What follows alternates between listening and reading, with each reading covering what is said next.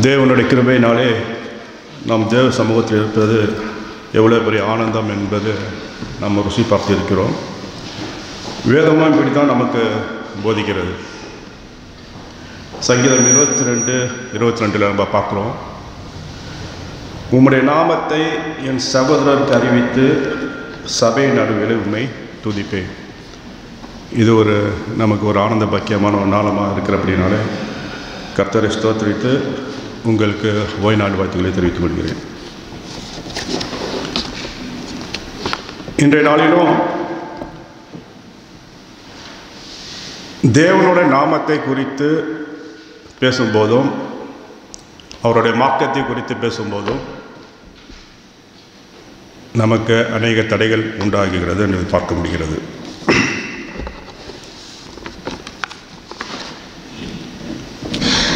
தேவன் இந்த காலத்திலே நம்மளுக்கு கொடுக்கப்பட்ட கிருபியானது.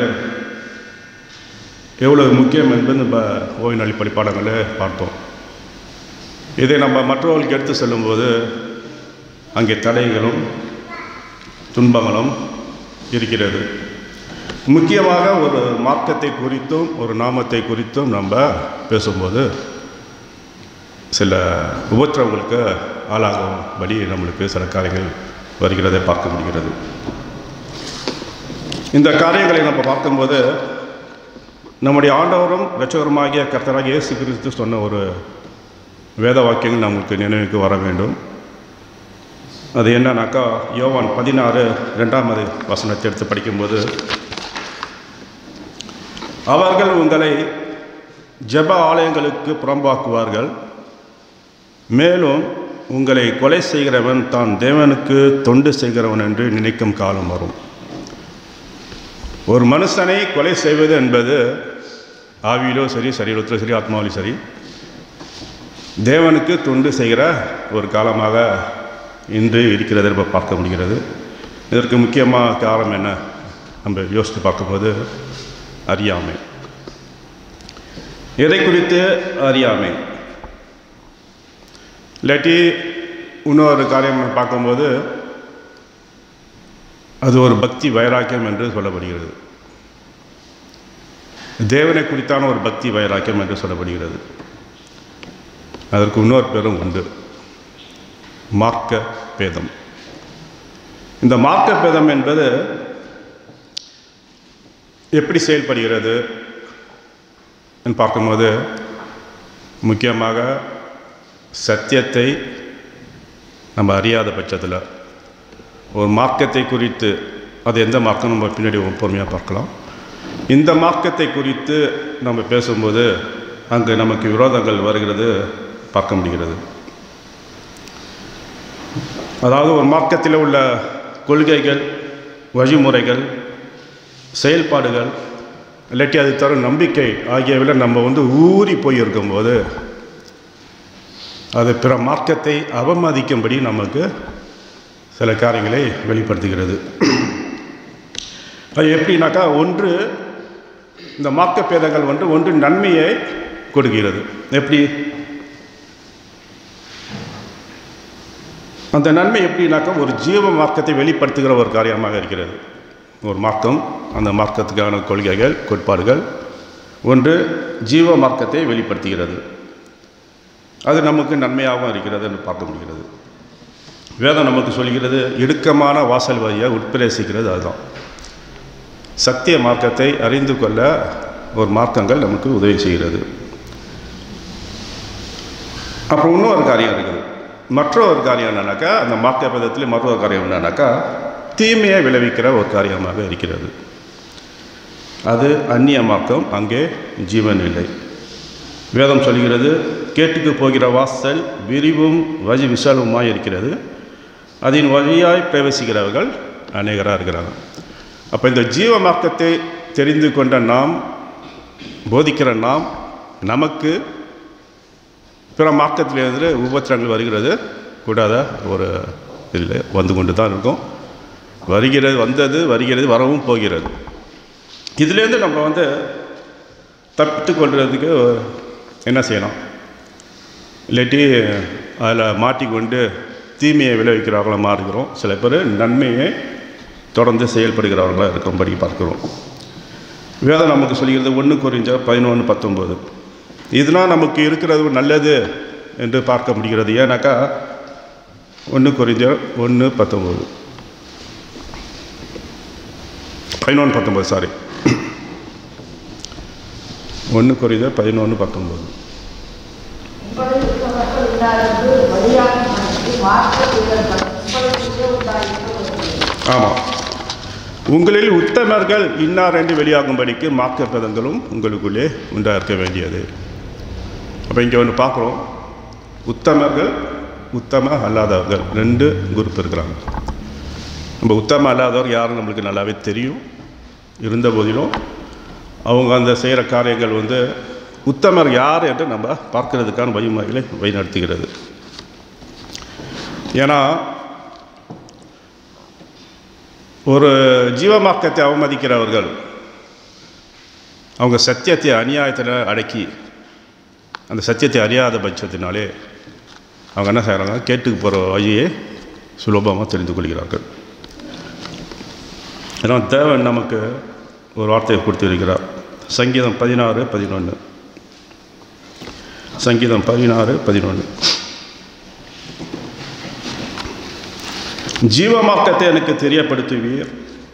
உம்முடைய சமூகத்தில் பரிபூர்ண ஆனந்தமும் உம்முடைய வலது பரிசத்தில் நித்திய பெரும்பமும் உண்டு. தேவன் நமக்கு நித்திய ஜீவனை கொடுக்கத்தக்கதாக ஒரு ஜீவமாக்கத்தை கொடுத்திருக்கிறார். அதை யார் கண்டுபிடிக்கணும்? நம்ம தான் தேடி தடவையாகணும் தேவன் யார் என்று கண்டுபிடிக்க ஆயத்தப்படுகணும் அப்போ இந்த காரியத்தில் நம்ம நிச்சயமாக இருக்கும்போது நமக்கு எதிரியாளி ஒருத்தர் இருக்கிறான் நிச்சயமாக இந்த மார்க்கம் மெலி போகாத படிக்கு பல தடைகளையும் உபத்திரங்களும் கொடுக்க வாய்ப்பு உண்டு. இந்த சம்பவம் மூலமாக நம்ம பார்க்கும்போது வேதத்தில் ஒரு ஒரு அருமையான ஒரு காரியம் நம்மளுக்கு போதனையாகவும் ஆலோசனையாகவும் கர்த்தர் நமக்கு இந்த காலத்திலும் கொடுக்கப்பட்டிருக்கிறார். இந்த தாழ்வு அது ஒரு தாழ்வு காலமாக இருக்கிறபடினாலே அந்த தாழ்வு காலத்தில் நம்ம எப்படி சிந்தனை செய்து ஜீவ மார்க்கத்தை கண்டடைய வேண்டும் என்பதை நம்ம புரிந்து கொள்ள வேண்டும். யூதர்களுக்கு கொடுக்கப்பட்ட ஒரு காலகட்டம் ஒன்று உண்டு.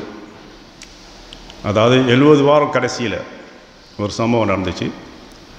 அந்த சம்பவத்தில் பார்க்கும்போது குறிப்பாக கிறிஸ்துக்கு பின் முப்பத்தி நாலாம் ஆண்டிலே சவுல் ஸ்தேவானை கொலை செய்கிறதுக்காக சம்மதித்திருந்தான் என்ற ஒரு பக்கத்தை நம்ம பார்க்க முடிகிறது.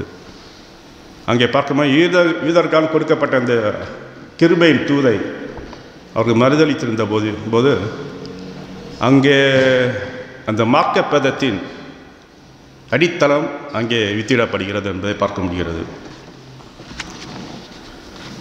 நீ காலைல பார்த்தோம் தேவன் எப்படி கிருபை உள்ள ஒரு தேவன் என்பதை அதை ருசி பார்க்கிற பார்க்கும்போது தான் அவர் எப்படிப்பட்ட ஆண்டவர் என்பதும் புரிந்து கொள்ள முடியும். அந்த முதல் இரத்த சாட்சியான அந்த ஸ்தேவன் கொலை செய்ய போகும்போது சவுலை பற்றி இங்கே ஒரு காரியங்கள் விளக்கமாக நம்மளுக்கு வேதம் சொல்கிறது. அப்போ சில எட்டாம் அதிகாரம் ஒன்றாவது வசனத்தை எடுத்து படித்து பார்ப்போம்.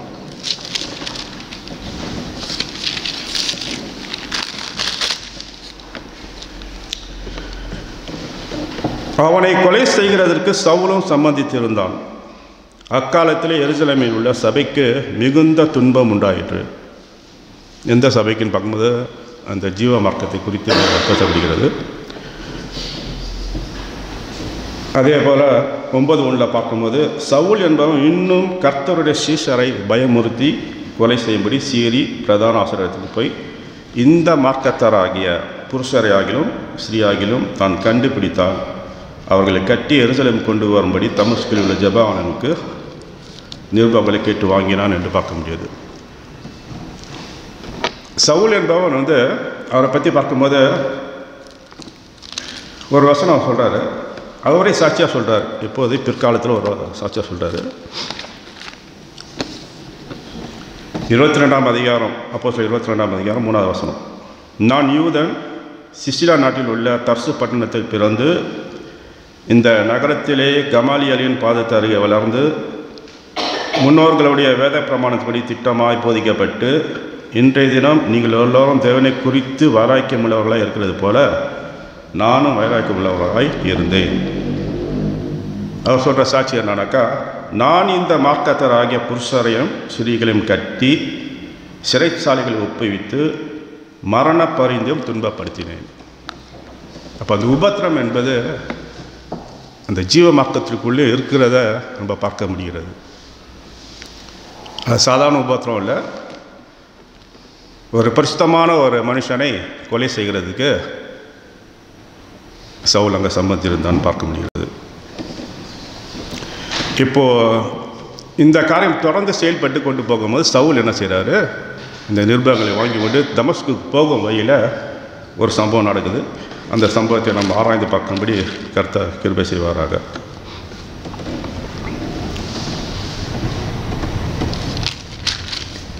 நம்ம அப்போஸ்ல ஒன்பதாம் அதிகாரத்தை எடுத்து வைத்துக் கொள்ளுங்கள். அதிலிருந்து சில காரியங்களை படித்து கர்த்தருடைய ஆலோசனைகளை கேட்டு அவருடைய ஜீவ மார்க்கத்தை நாம் தொடர்ந்து இருக்கத்தக்கதாக தேவன் தாமே நம்மளை வழிநடத்துவாராக. அவன் பிரயாணமாக போய் தமஸ்கு சமீபித்த போது சடுதிலே வானத்திலிருந்து ஒரு ஒளி அவனை சுற்றி பிரகாசித்தது என்று பார்க்க முடிகிறது. அப்போ அங்கே ஒரு சத்தம் உண்டாகிறது. அந்த சத்தம் சாதாரண சத்தம் இல்லை ஒரு பெரிய சத்தம் என்று வேதம் சொல்கிறது. அந்த சத்தம் என்ன சொல்லுதுனாக்கா சவுலே சவுலே நீ ஏன் என்னை துன்பப்படுத்துகிறாய்? நீ என்னை ஏன் துன்பப்படுத்துகிறாய்? அப்போ சவுல் கொலை செய்த அநேக பரிசுத்தவான்கள் இருக்கிறாங்க. துன்பப்படுத்தின அநேக பரிசுத்தவாங்க இந்த சத்தம் யாருடையது? அவருக்கு தெரியல. நீ ஏன் என்னை துன்பப்படுத்துகிறான் இந்த ஒரு சத்தம் கேட்குது. வேதம் சொல்கிறது உங்களை தொடுகிறவன் அவருடைய கண்மணியை தொடுகிறான். சவுல் தொட்ட மனிதன் யார்? மனிதர்கள் யார்?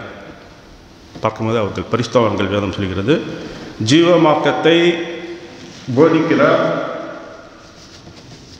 பரிஸ்தவான்கள் என்று வேதம் சொல்கிறது. அந்த பரிஸ்தவான்களை குறித்து நம்ம பின்னாடி பார்ப்போம்.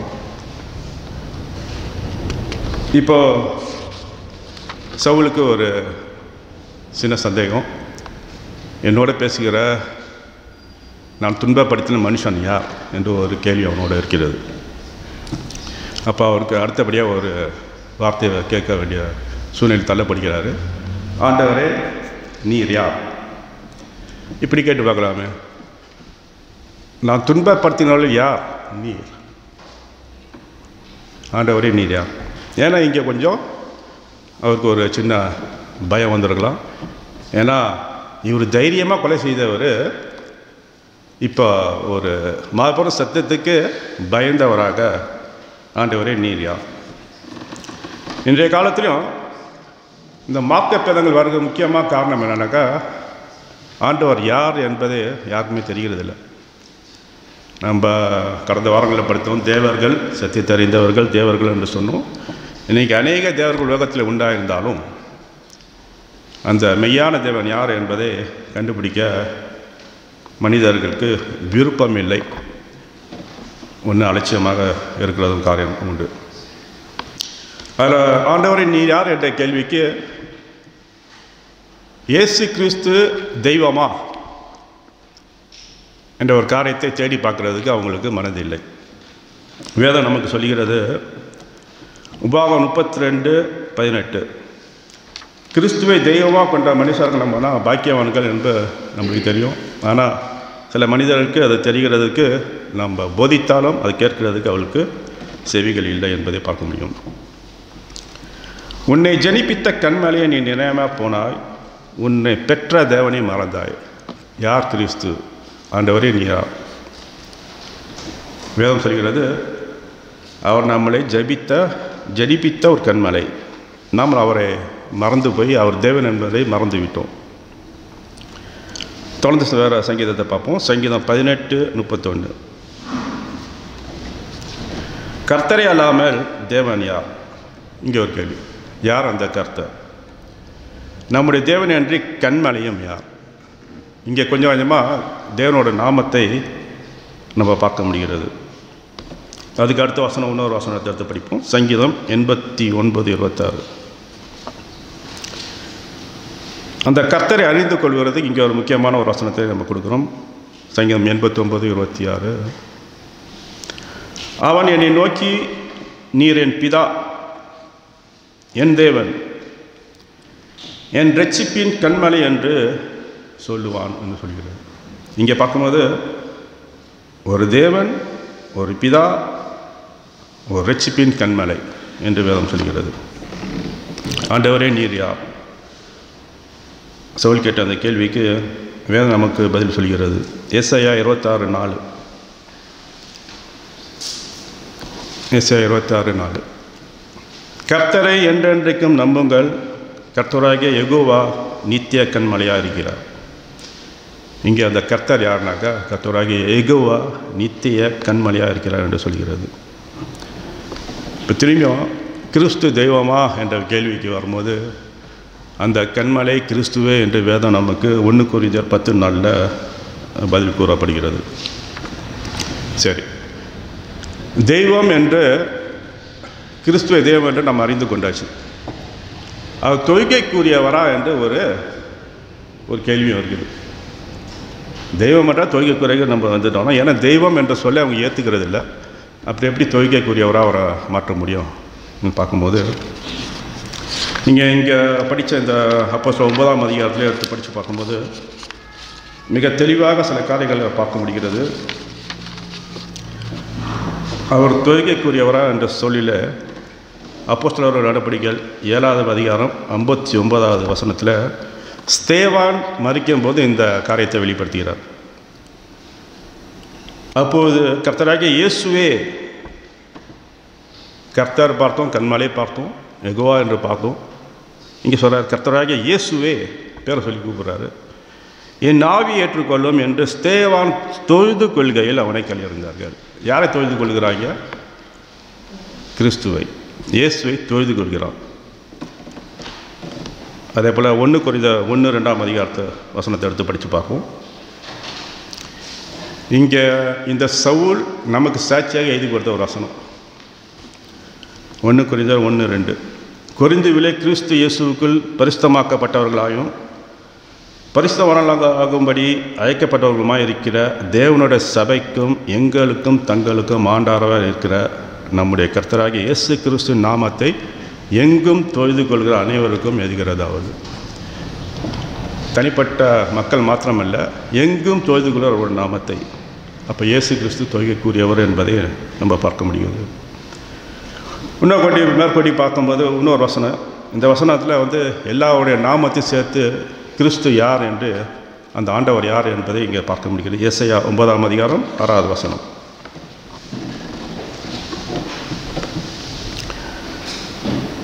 இதில் இன்னும் நம்மளுக்கு தெளிவாக கொடுக்கப்பட்டிருக்கிறது.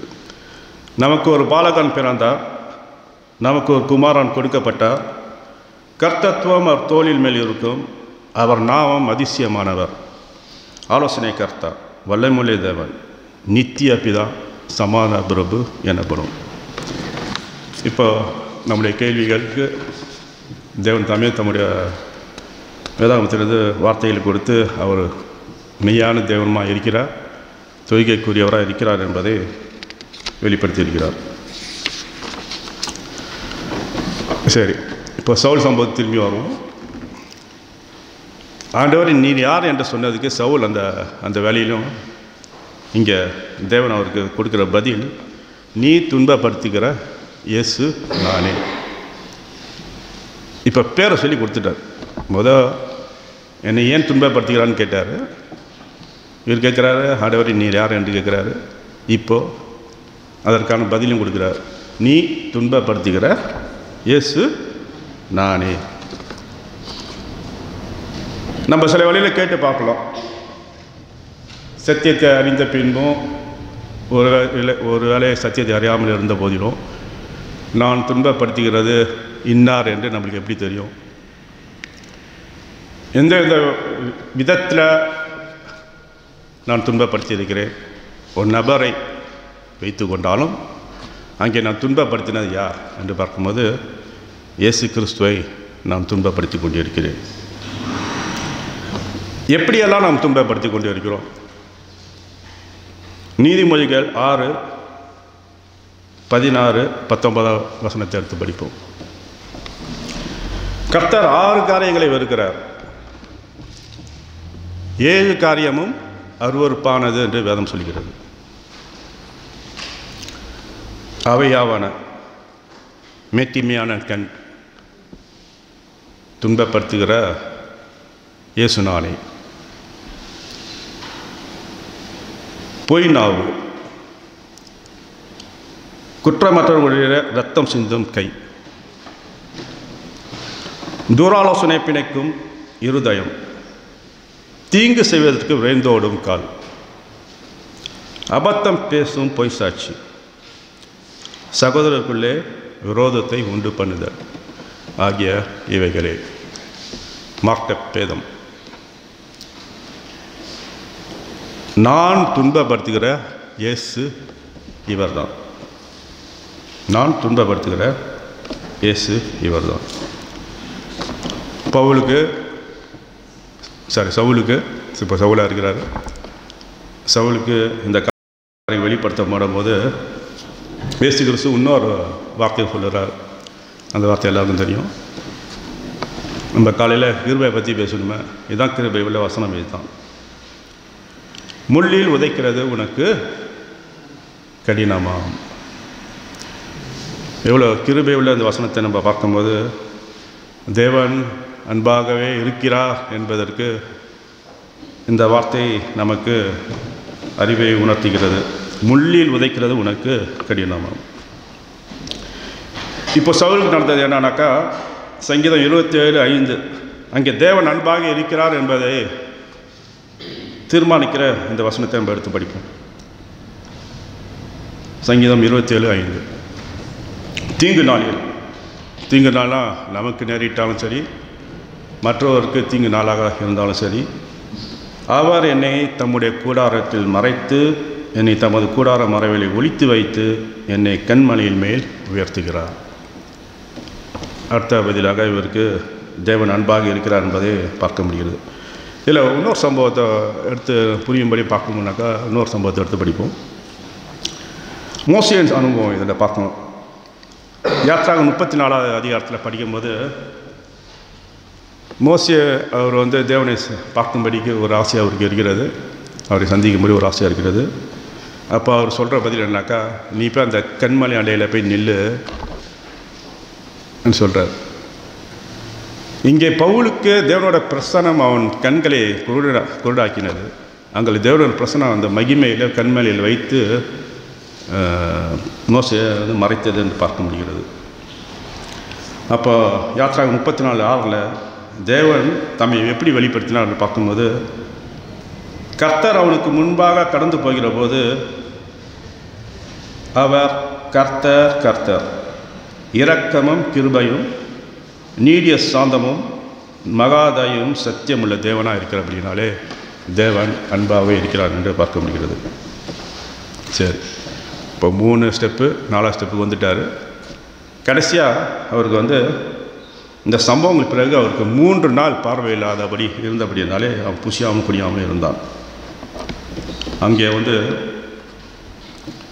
மூன்று நாள் அவனுக்கு ஒரு தாய்மை உள்ள காலமாக தேவன் அவனை சிந்திக்கும்படியாக ஏவினார் என்று பார்க்க முடிகிறது.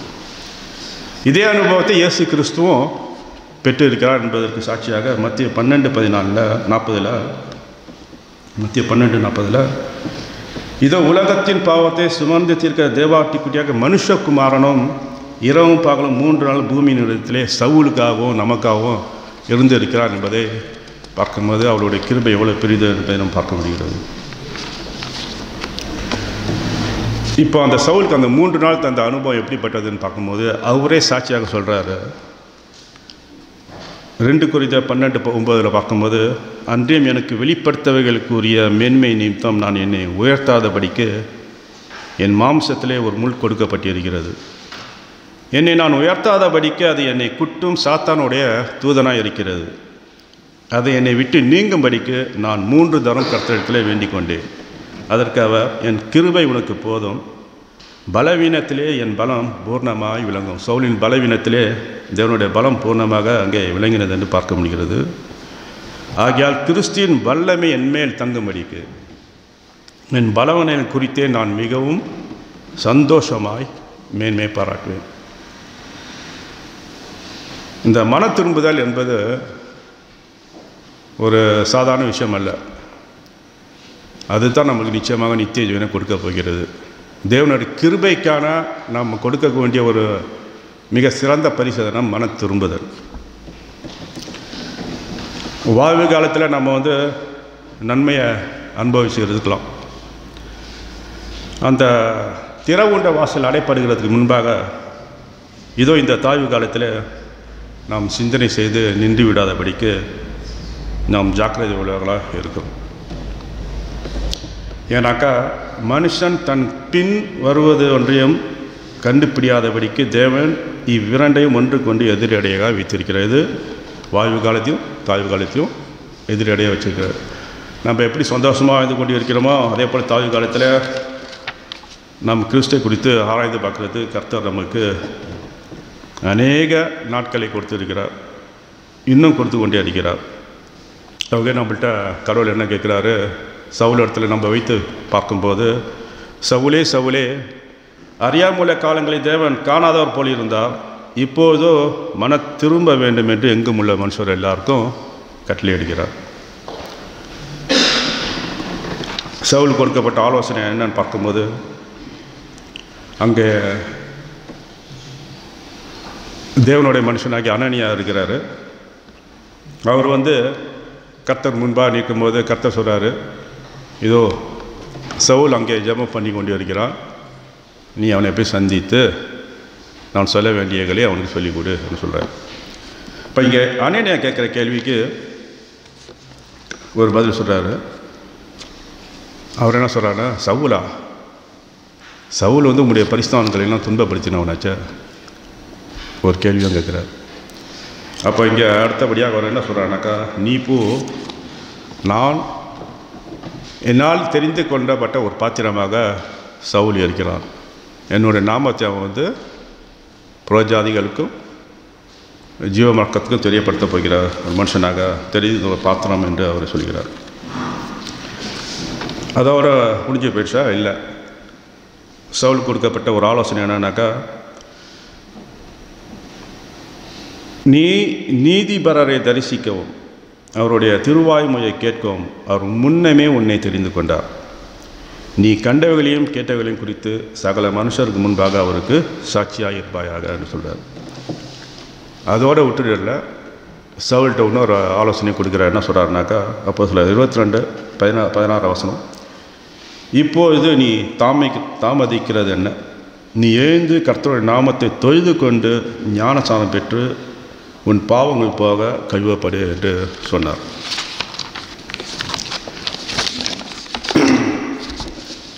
தேவன் நம்மளுக்கு கொடுக்கப்பட்ட அந்த கிருபையின் தூதை நம்ம வந்து அலட்சியம் செய்யும்போது நிச்சயமாக அங்கே வந்து அந்த அக்கினியானது அதாவது அந்த உபத்திரம்ன்ற அக்கினி வந்து ஒன்று நம்மளை பட்சித்து போடும். இன்னும் அந்த அக்கினி அப்படி இல்லைன்னா இன்னும் அந்த அக்கினி வந்து நம்மளை புடமிட்டு பொன்னாக விளங்க செய்யும். சவுலுக்கு அந்த தாய்மொழி காலத்தை சிந்தித்து பார்க்கும்போது அவன் புடமிடப்பட்டவனாக கர்த்தருக்கு தன்னை ஒப்பு கொடுத்தான் என்று பார்க்க பார்க்கணும்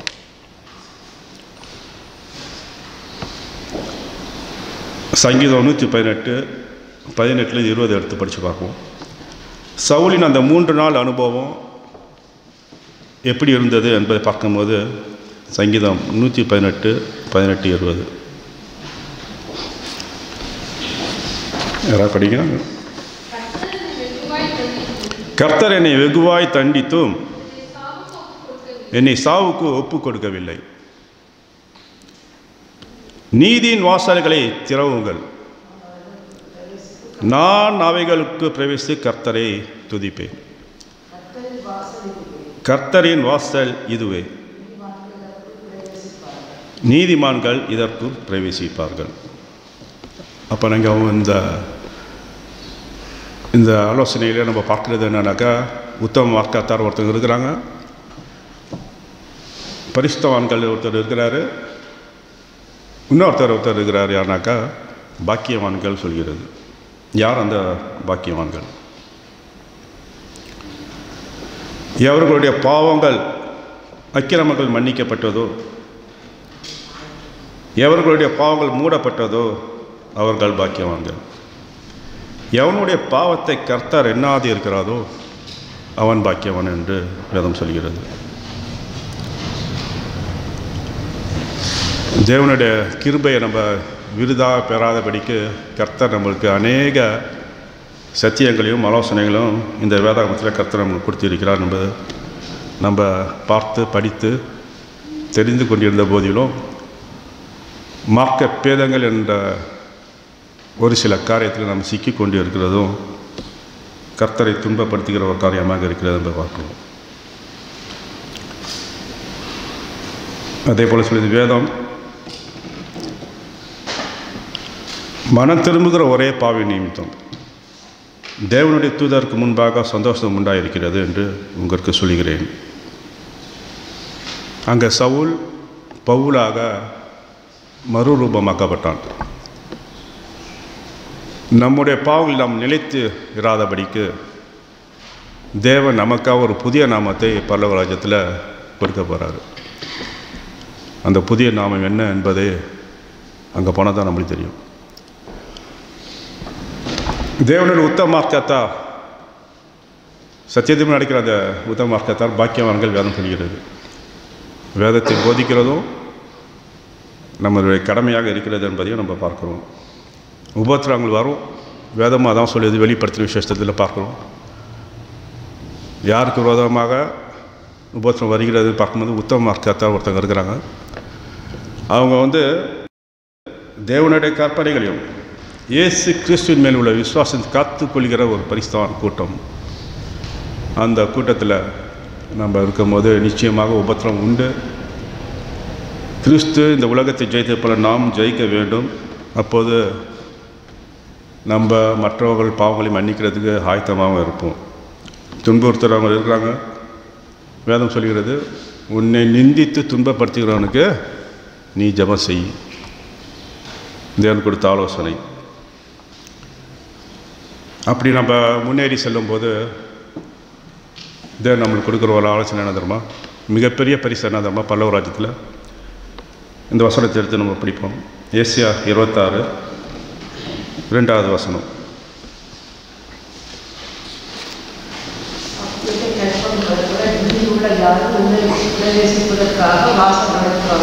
சத்தியத்தை கை கொண்டு வருகிற நீதி உள்ள ஜாதி உள்ளே பிரவேசிப்பதற்காக வாசல்களை திறவுங்கள் என்று ஒரு சத்தம் நம்மள்ட்ட கேட்கும்போது நம்முடைய பாவங்கள் எல்லாம் நித்திய நித்தியமாக அங்கே மன்னிக்கப்பட்டு நாம் நிச்சயமாக பாக்கியவான்களாக இருக்கிறோம் என்பதை தேவன் நமக்கு கொடுக்கிற இந்த ஆலோசனை. இதோ அனுக்கிரக காலத்திலே நான் உனக்கு செவி கொடுத்து இரட்சணிய நாளிலே உனக்கு உதவி செய்தேன் என்று சொல்லியிருக்கிறாரே. இதோ இப்போது அனுக்கிரக காலம். இப்போது இரட்சணை நாள். நாம் இந்த மார்க்க பேதம் என்ற பாவத்திலிருந்து மனம் திரும்பி கர்த்தருக்கேட்டு நம்ம ஒப்பு கொடுக்கும்போது நிச்சயமாக நம்ம பாக்கியவான்களாக இருப்போம். இந்த ஒரு காரியத்திற்காக நிச்சயமாக நம்ம ஜபிக்கிறவங்க இருக்க வேண்டும் என்பதை தேவன் நம்மளுக்கு சொல்லிக் கொடுத்திருக்கிறார். கிறிஸ்துவே நம்மளது வாசலாக இருக்கிறார். அவரால் அன்றி நம் பரவராஜ்யத்துக்கு போக முடியாது. கர்த்தர் யார் என்பதை நாம் அறிந்தவர்களாக தேவன் அறியாமல் உள்ள காரங்களை காணாத போல இருந்தாலும் இப்போது மனம் திரும்ப வேண்டும் என்று உள்ள மக்கள் எல்லாருக்கும் அவர் கட்டளை எடுக்கிறார் இந்த தாய்மை காலம் நமக்கு என்னிடத்திலும் உங்களிடத்தில் நிச்சயமாக அந்த மூன்று நாள் அனுபவம் இருக்கும். அந்த மூன்று நாள் அனுபவத்தில் சவுலாக இருக்கிற நான் பவுலாக மறுரூபமாக்கப்படுவதற்கு கர்த்தருடைய கரணம் நம்மளோடு கூட என்றென்னும் இருக்கிறது என்பதை நினைவு கூர்ந்து இந்த தேவ செய்தியை நிறைவு கொண்டு வருகிறேன். ஆமே